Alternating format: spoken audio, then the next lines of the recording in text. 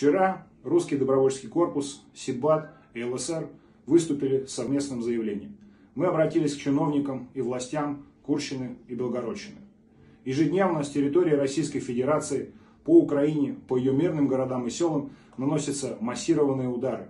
Гибнут мирные женщины, дети, старики.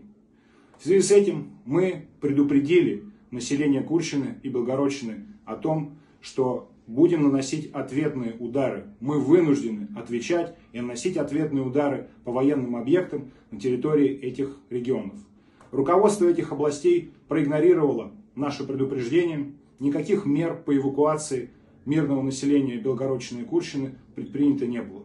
Поэтому я обращаюсь напрямую к жителям этих регионов.